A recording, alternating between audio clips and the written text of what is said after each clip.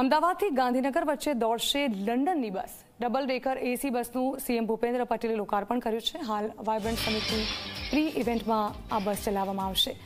એસી electric બસનું vibrant સમિટમાં વહન કરાશે. વાયબ્રન્ટ સમિટ બાદ અમદાવાદ ગાંધીનગર વચ્ચે ચાલશે આ બસ.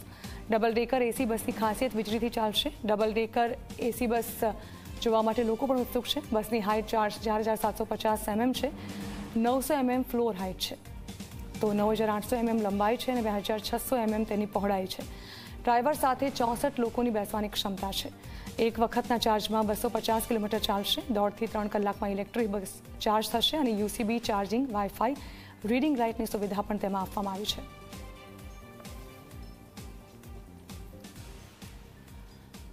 ગાંધીનગરની ગિફ્ટ સિટીથી ગુજરાત એસટી દ્વારા ડબલ ડેકર એવી ઇલેક્ટ્રિક બસ શરૂ કરવામાં આવી છે અને જેની મુસાફરી ખુદ મુખ્યમંત્રી ભૂપેન્દ્ર પટેલ અને રાજ્યના વાહન વ્યવહાર મંત્રી હર્ષ સંઘવી કરી રહ્યા છે. આપ જોઈ શકો છો તેમની સાથે કેટલાક વિદ્યાર્થીઓ પણ છે, રાજ્ય સરકારના ઉચ્ચ અધિકારીઓ પણ છે. લોકાર્પણ થયા બાદ મુખ્યમંત્રીએ નક્કી કર્યું કે આ બસમાં બેસીને જ તેઓ સચિવાલય એટલે કે તેમનું જે કાર્યાલય છે, ત્યાં જવા રવાના થશે. આખો પ્રોજેક્ટ શું છે, શું આખી યોજના છે, આપણે તેમની સાથે વાત કરીએ. હર્ષભાઈ, પ્રથમ તબક્કામાં અત્યાધુનિક સેવાઓ મુસાફરોને મળશે. શું આખો પ્રોજેક્ટ છે ને આવનારા સમયમાં કરી રીતે આને એક્સપાન્ડ કરીશું? ગુજરાતના લોકપ્રિય મુખ્યમંત્રી આદરણીય શ્રી ભૂપેન્દ્રભાઈ પટેલના માર્ગદર્શનમાં ગુજરાતના પ્રત્યેક નાગરિકોને વધુમાં વધુ બસીસની ફેસિલિટી કઈ રીતે મળે તે દિશામાં રાજ્ય સરકાર કામગીરી કરી રહી છે.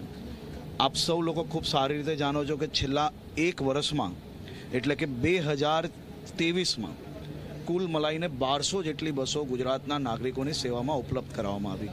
બે હજાર ચોવીસની શરૂઆતથી જ પહેલી તારીખથી ચાલુ કરીએ અને આઠમી તારીખ સુધી કુલ મલાઈને અઢીસોથી વધારે બસો ગુજરાતના નાગરિકોની સેવામાં ઉપલબ્ધ કરાવવામાં આવી છે. પહેલાં પચાસ અને બસો આદરણીય મુખ્યમંત્રી શ્રી દ્વારા એનું લોકાર્પણ ગાંધીનગર ખાતે કરવામાં આવ્યું. આજે Gujarat generation next public transportation તરફ એ દિશામાં એક પગલું આગળ વધારી ચૂક્યું છે. મુખ્યમંત્રીશ્રીનું ખાસ સૂચન હતું કે પ્રદૂષણ ના ફેલાવે તે માટે ઈ બસીસ વધારામાં વધારે આપણે લોકો, લોકોની સેવામાં ઉપલબ્ધ કરાવો. એ દિશામાં આજે જનરેશન નેક્સ્ટ પબ્લિક ટ્રાન્સપોર્ટેશનમાં અમે આગળ વધી રહ્યા છે. ડબલ ડેકર ઇન્ટરનેશનલ કક્ષાની આ બસ આપણું ઇન્ટરનેશનલ ગિફ્ટ સિટી એટલે કે ગુજરાત અને સમગ્ર ભારત દેશની શાન, એ ગિફ્ટ સિટીથી અમદાવાદના વિવિધ ક્ષેત્રોની અંદર આ બસ રેગ્યુલર અનેક ટ્રીપો અપડાઉન કરશે. ફર્સ્ટ ફેઝ આપણે ગિફ્ટ સિટીથી ચાલુ કરીએ છીએ. આવનારા દિવસોમાં આનું રિવ્યૂ કરીને ધીરે ધીરે આપણે આગળ વધારીશું. ગુજરાતના નાગરિકો માટે આજે ખૂબ મહત્વનો અને ગર્વનો દિવસ છે.